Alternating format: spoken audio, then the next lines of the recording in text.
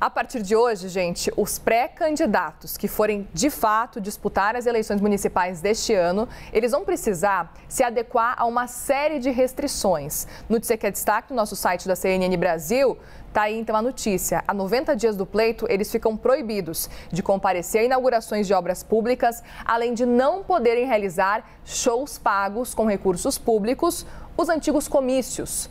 No caso de candidatos que já exercem cargos públicos, como é o caso, por exemplo, de Ricardo Nunes, como a gente falava, pronunciamentos em rádio e televisão fora do horário eleitoral também são vetados. Tainá Falcão, aos pouquinhos, a gente vai vendo que as regras vão aumentando para esses pré-candidatos. E a Tainá volta então a conversar com a gente. Cada vez mais, né, elas vão afunilando em, em direção aí já a esse processo de eleição que a gente começa nesse segundo semestre.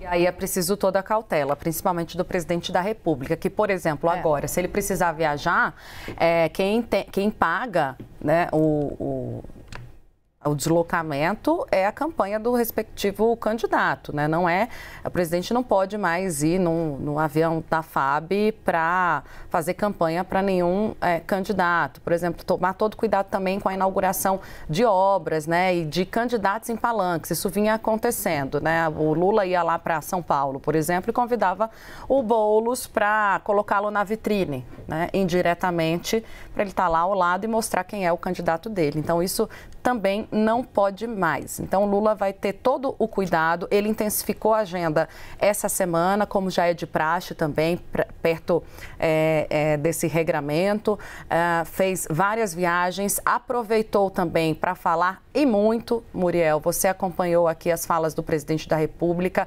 falas que geraram um certo incômodo, um certo atrito com a ala econômica, principalmente do governo, porque Lula, na visão de aliados, tentou pautar ah, como ah, assunto central do debate no Brasil é, a queda dos juros, né, os juros altos, melhor dizendo, as críticas ao Banco Central, acabou se excedendo e precisou fazer um ajuste de rota. Né? Então, o presidente aproveita essa última semana para demonstrar é, quem são seus candidatos, onde ele vai estar. É, e é muito interessante, Muriel, porque eu estava conversando com ali a cúpula do PT para entender, ora, onde é que o Lula vai estar? Né? A gente estava até ouvindo alguma reclamação, algum, algum desconforto na campanha do Boulos, achando que o presidente Lula precisava estar mais junto, né? poderia estar mais perto é, do, do Guilherme Boulos. E aí me falaram, ele não vai estar em todo lugar, né? A gente ainda está montando a agenda dele como cabo eleitoral, mas não tem como. Vai estar onde tem viabilidade, onde, nas principais capitais e onde o PT tem condição de ganhar. Então isso tudo está sendo pensado a partir de agora.